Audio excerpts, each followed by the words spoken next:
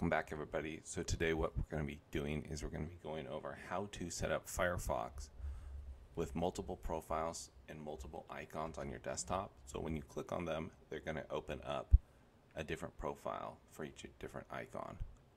So let's go ahead and get started. So first we're going to start with coming to the Firefox and adding it to your desktop. You're going to want to right click on the icon and copy it. Then you can go ahead and right click anywhere on the desktop and hit paste and hit paste a second time. So now you have two icons.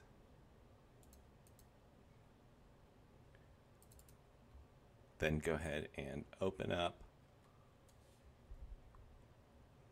the first one that you put onto your desktop and what we're going to do is we're going to go ahead, you come up to the URL bar and you're going to want to go ahead and type in about semicolon profiles. So this is specific for Linux. It should work the same for Windows though. And this is Linux Mint. We're going to want to go ahead and create a new profile So say you wanted to use this for Amazon. And let's create one more. We'll call it Google.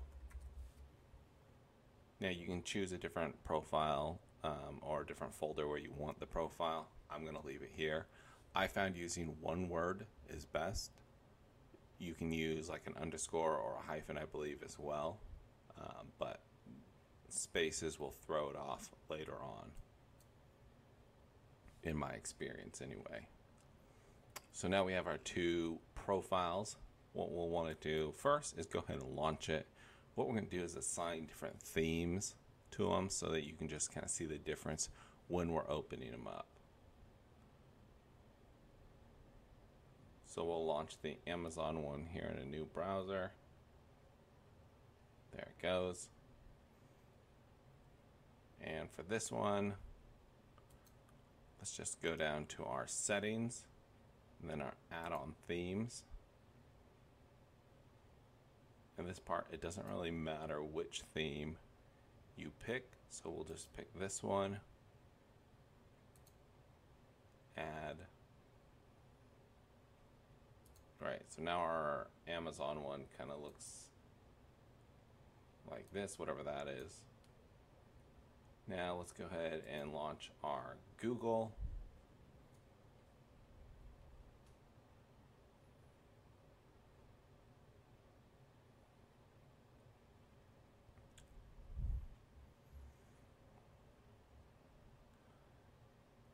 And we'll go ahead and do the same thing. Just come down to our themes.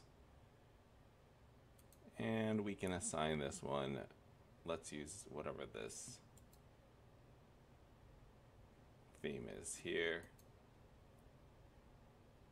Okay, so now we have our two themes assigned to our two profiles, so we can go ahead and close out and then close out of the main window. What you're want to do is go ahead and right click on the browser icon, then you go down to properties. You want to do a hyphen P space the name of your profile, so in our case it's to be Amazon space, another hyphen, and then it's going to be no remote. And we can go ahead and close this one out. And we're going to want to go ahead do the same thing over here.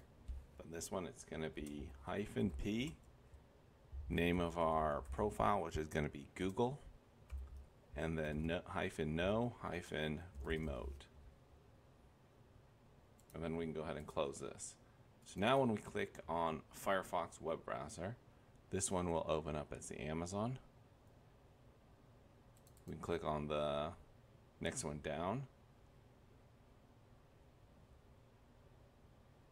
And it's going to open up as the Google.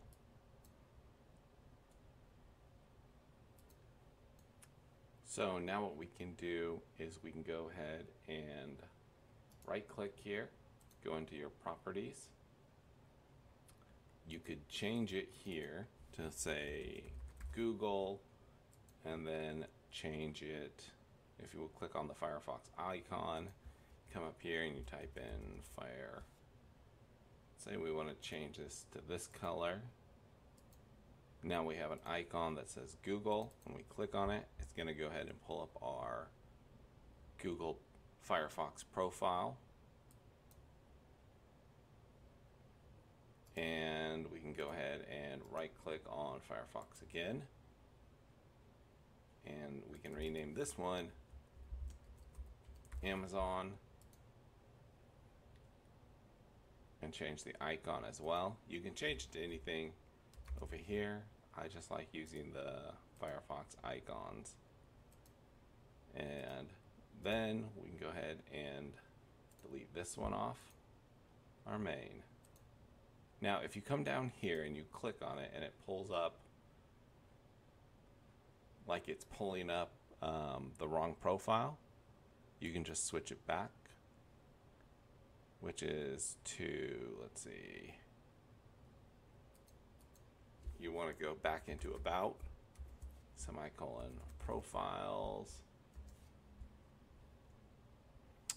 Then you can say, set as the default, launch profile in a new browser.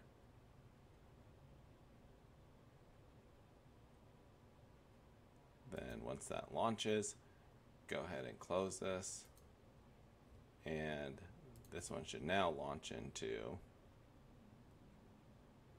just your regular browser. So you can have your regular browser,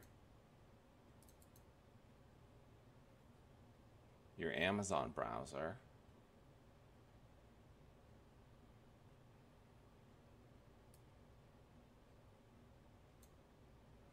and your Google browser. And you can name them whatever you like. You can have multiple, you can have more of them if you like. But that about wraps up this video. So if you liked it, um, this should work for the same for Windows or for Linux Mint, um, but specifically for Linux Mint. But if you like the content, go ahead and like it, uh, subscribe, and thanks for tuning in.